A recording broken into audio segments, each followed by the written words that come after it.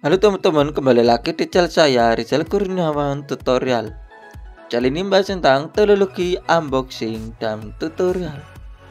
Nah, berita datang dari produk gadget ternama atau produk maupun anda ternama datang dari Vivo.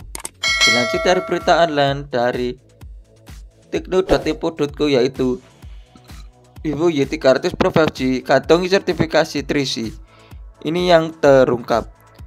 Biasanya yaitu muncul laporan bahwa Vivo tengah menggarap seri ponsel pintar Vivo Y300.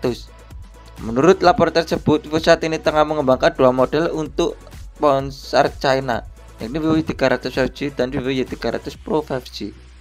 Sertifikasi 3C China telah menyetujui varian Pro dengan nomor model V2410A yang menunjukkan kemampuan pengisian dayanya yang cepat yaitu seorang pembocor telah mengungkapkan kapasitas baterai perangkat tersebut. Dikutip dari Gizmo China, terungkap bahwa ponsel Vivo V2410A 5G mendatang disebut-sebut sebagai Vivo Y300 Pro 5G telah disetujui oleh platform sertifikasi 3C China. Data tersebut mengungkap bahwa ponsel tersebut mungkin akan dilengkapi pengisian daya 80 watt. Sayangnya daftar tersebut belum mengungkapkan apa pun tentang perangkat tersebut. Sementara itu, informan Panda Isbal mengklaim bahwa Vivo Y300 Pro 5G akan mengemas baterai berkapasitas besar 6500 mAh. Spesifikasi lain dari perangkat ini belum terungkap.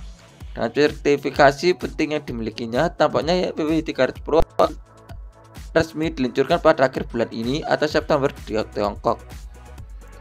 Dalam berita terkait, Vivo disebut-sebut tengah menggarap seri Vivo X200 ada laporan bahwa jajaran tersebut mungkin mencakup sebanyak 5 ponsel pintar.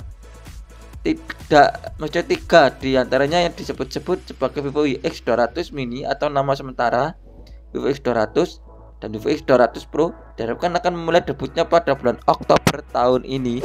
Perangkat ini akan dilengkapi dengan chipset Dimensity 9400. Belum ada kejelasan mengenai model keempat dalam seri tersebut. Sedangkan model kelima tampaknya adalah Vivo X200 Ultra. Ponsel ini yang disebut-sebut akan dibekali chipset Snapdragon 8 Gen 4.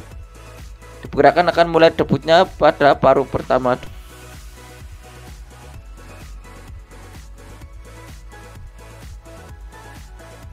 Berita nama datang dari Vivo. Dilansir dari berita dari tekno.tempo.co yaitu Vivo Y300 Pro 5G kantongi sertifikasi 3C. Ini yang terungkap. Terima kasih sudah menonton channel ini. Jangan lupa klik subscribe, like, comment, dan share. Dan tekan tombol loncengnya agar selalu membawa notifikasi tentang video saya tentang teknologi unboxing tutorial. Dan akan selesai terus kembang. Terima kasih.